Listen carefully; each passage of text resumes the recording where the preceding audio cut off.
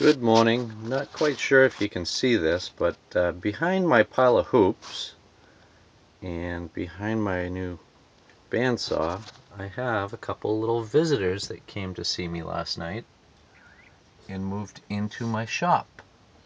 I'm getting closer. There they are. It looks like I have a couple of quail that have temporarily moved in. Um, cute as can be. Say hi, guys. Say hi. Oh, this is just too funny.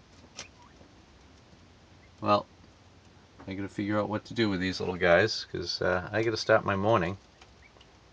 And uh, oh my god, they're so cute.